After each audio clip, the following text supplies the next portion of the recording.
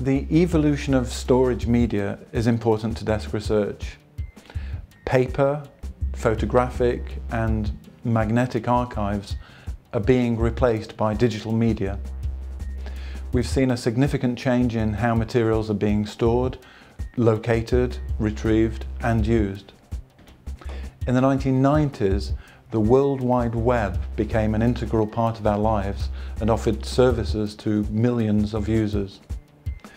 Mistakes of the past mean that many records are now kept and raw data sets have been made available for manipulation via the web.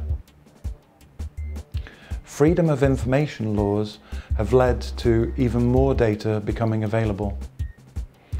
Aggregators delivering material from many sources have become important. We are moving towards an age where more data is stored with little or no filing. Electronic searching and data capture makes sense of this data and delivers the relevant information to the user.